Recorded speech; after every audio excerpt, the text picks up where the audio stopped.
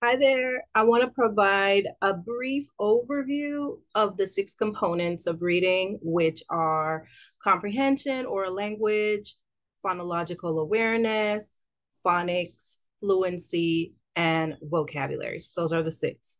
I also want to provide you with some context about how each of the six can look in both elementary and secondary classrooms.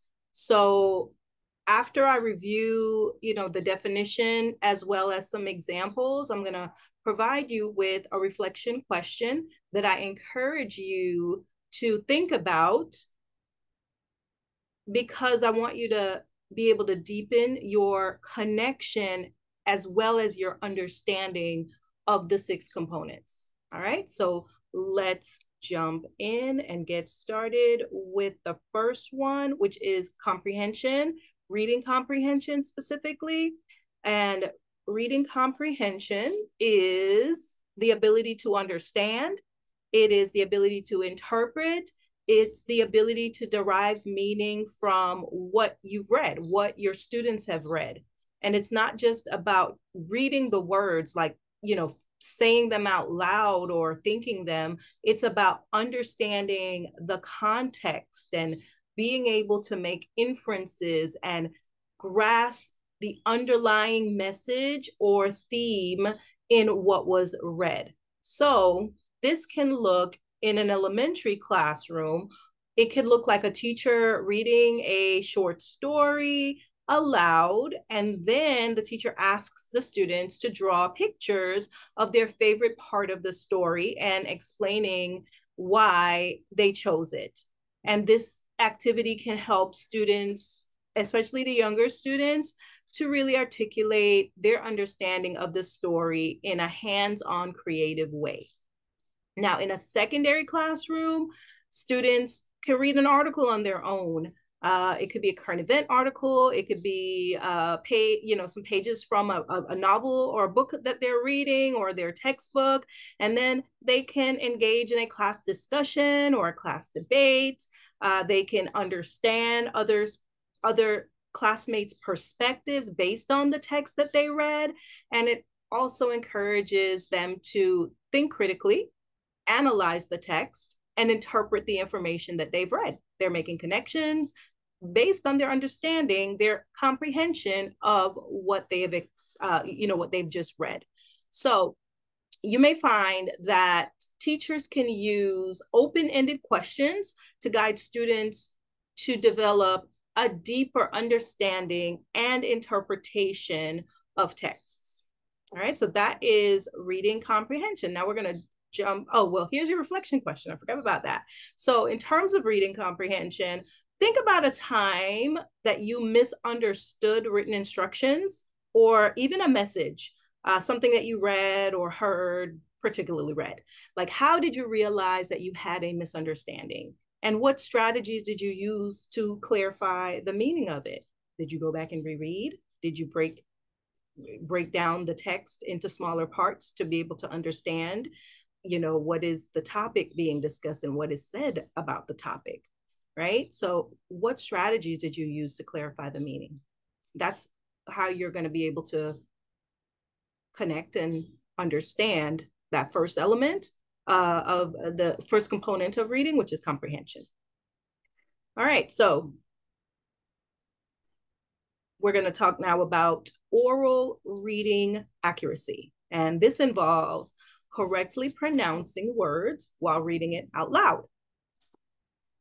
Now, this is absolutely an essential piece, uh, you know, for for fluency because it does help in reinforcing the understanding of the text. So, oral oral reading accuracy or fluency can be seen in an elementary classroom when students take turns reading they could read a paragraph from a book, but they're taking turns reading out loud. And then the teacher may gently correct mispronunciations uh, and help them to reinforce the correct pronunciation, you know, with the whole class. If there's a particular word maybe that they're they all are are struggling with. And there's also apps and programs that can record students reading and help them to identify these words that they are, um, help to flag them and identify these words that are being mispronounced. Okay, next is the, in the secondary classroom, um, oral reading accuracy or fluency can be seen where students are practicing reading a passage in that new language and they are focusing on you know pronouncing the words accurately uh, to improve their fluency as well as their comprehension of the language. So teachers may use group reading oral presentations or dramatic readings to be able to hear and correct the pronunciation uh, to enhance the pronunciation of, of you know, of, of words. All right, so I would like for you to reflect on the role of tone as well as pronunciation in communication. How can mispronunciation change the meaning or impact of a message? Think about that. And then that's how you're able to make that connection with the or reading accuracy. How can mispronunciation change the meaning or impact of a message? All right, let's talk about phonological awareness next. So this one refers to the ability to recognize and manipulate sounds in spoken language. Think about things like when rhyming, you hear rhyming or alliteration or syllable counting, right? Elementary teachers may play like a rhyming game where students must think of words that rhyme with a given word. They may have students clap out the syllables to count the syllables in a word. Uh, you know, these activities are fun and they enhance the student's ability to recognize and manipulate sounds. In a secondary classroom, teachers um, language arts teachers can use poetry to help students analyze the use of uh, alliteration, which is a literary device, as well as rhyme scheme. And it can uh, that that can help students understand how the their phonological um, awareness is important in even the, the the high school or middle school level, and it contributes to their overall effect uh, and meaning of the poem when they are paying attention to those kinds of um, phonological elements, alliteration and rhyme scheme and the flow, all of that makes a difference in the meaning of the poem or the piece, right? So, what I would like for you to do is reflect on the use of songs, rhymes, or wordplay in your personal life. How do these experiences help you in understanding placing value, I would also say, and manipulate sounds, right? So think about that, especially especially with music. Okay, now we're going to talk about phonic elements, which involves recognizing the relationship between letters and sounds. And it's an essential skill for decoding words. So in elementary classrooms, using phonic games and letter sound matching, like, you know, letter cards or having the students create simple words by matching the letters with their corresponding sounds are hands-on activities that can reinforce the students' understanding of phonics, right? And then in a secondary classroom, it could be in a reading, um, intensive reading or reading intervention class where students work on decoding the more complex words using their knowledge of phonics, right? Like the um, etymology of words or the roots. And that can help them to uh, break down, decode more complex, more challenging words so that they can better understand those challenging texts. So think about or consider a time when you had to decode an unfamiliar word. Perhaps it's a word in a different language, or maybe it's a, a technical term um, uh, that you were not familiar with. And what strategies did you use to help understand the word better? What kind of decoding of the language did you engage in? Okay, now we're on to reading fluency, and this is the ability to read with speed, accuracy, and proper expression.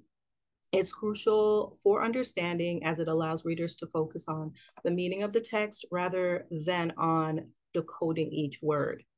So in an elementary classroom, uh, students participate in, students will participate in a reader's theater. Um, they can read scripts aloud in groups, but they focus on reading with expression at a, an appropriate speed rather than understanding what the what the what the context is. So reading fluency is about speed, reading with speed. In a secondary classroom, students are given timed reading exercises like, uh, you know, they're given a passage to read silently and then discuss in groups. Um, again, this is going to be focused on their reading pace. And the teacher is trying to identify how their reading pace may have helped or hindered their understanding of the text. Okay, so fluency, reading fluency relates to the speed, the accuracy, and the proper expression in the reading. So think about um, a book or an article that you've read. If You could have like you know read the physical book or maybe you listened to the audiobook and how did the pace of reading influence your understanding as well as your enjoyment of the book or article okay now we're on to i believe this is our last one which is um, vocabulary uh, or word recognition, which is the ability to identify words quickly and effortlessly. So it is a foundational skill for fluency, being, uh, flu being fluent in reading, for literacy, right? Uh, in an elementary classroom, uh, this could look like students playing sight word bingo or a teacher having word walls or using flashcards and playing games with flashcards where students must recognize and find, you know, those common sight words quickly. In a secondary classroom, this could also look like word walls because we have word walls in secondary classrooms as well. Uh, in a science class, particularly, students might use flashcards with scientific terms, context clues, and vocabulary lists, you know, to improve their quick recognition and understanding of key vocabulary words that are related to what, you know, the topic or the content in the secondary classroom. So for you, I would like for you to think about um, the process of learning to recognize a complex or technical term relevant to this new profession of education because i'm sure there's like lots of terms that you've come across one one in particular that i know a lot of us gets a, lot of a lot of us um, stumbles on is the word pedagogy and even the word andragogy, right? And so recall the process of learning to recognize those technical terms or complex terms.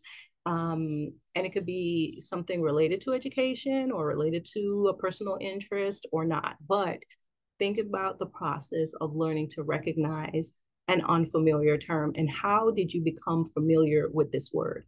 What strategies did you use so that you would remember how to pronounce and how and and what even the the meaning of this word was okay so we have reviewed all six of the um, components of reading uh, they are all interconnected as you could see from um, the examples that I shared with you.